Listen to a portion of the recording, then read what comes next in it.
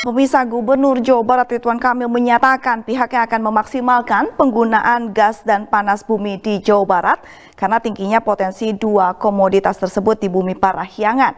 Selain itu Ridwan Kamil pun menegaskan kesuburan tanah membuat energi terbarukan dari Jawa Barat ini menjanjikan sehingga pihaknya akan berupaya untuk belajar mengembangkan energi terbarukan tersebut bersama para anggota Asosiasi Dewan Penghasil Migas. Gubernur Jawa Barat Ridwan Kamil menyatakan potensi gas di Jawa Barat mencapai empat kali lipat dibandingkan cadangan minyak. Namun hingga saat ini penggunaan gas belum menjadi budaya.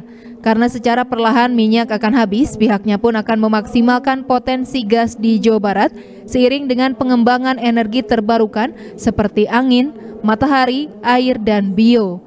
Sebagai Ketua Asosiasi Dewan Penghasil Migas, dirinya pun ingin menjadi pelopor penyemangat pengembangan energi terbarukan di daerah agar masyarakat Indonesia menjadi mandiri dalam hal tersebut. Itu potensi gasnya yang uh, besar karena gas di Indonesia ada empat, empat kali lipat lah ya dari dari cadangan minyak yang cuma budaya pakai gas ini kan tadi dalam rapat kita ini belum jadi budaya semua masih berbentuk cairan kan Padahal gas ini dengan infrastrukturnya bisa segala rupa. Nah kita ingin minyak pelan-pelan mungkin habis, gas yang masih belum diekspor empat kali lipatnya dimaksimalkan. Nah sambil tadi energi terbarukan mulai ya e, mau angin, mau matahari, mau air, mau bio itu.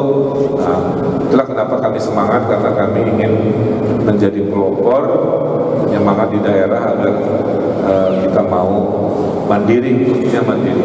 Karena kebanyakan orang Indonesia itu bisa beli tapi nggak bisa produksi.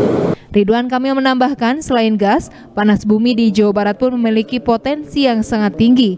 Namun saat ini menurutnya panas bumi masih menjadi anak tiri di Jawa Barat, padahal setiap harinya panas dari bumi Jawa Barat bisa menghasilkan energi listrik dan sebagainya. Selain itu, karena kesuburan tanah Jawa Barat, energi terbarukan dari Jawa Barat menjanjikan. Dirinya berharap dengan keberadaan Asosiasi Dewan Penghasil Migas atau ADPM, setiap daerah bisa saling belajar untuk mengembangkan energi terbarukan. Budi Hartati, Bandung TV